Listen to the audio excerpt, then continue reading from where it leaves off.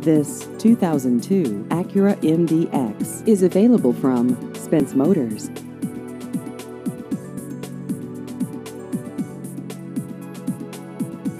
This vehicle has just over 147,000 miles.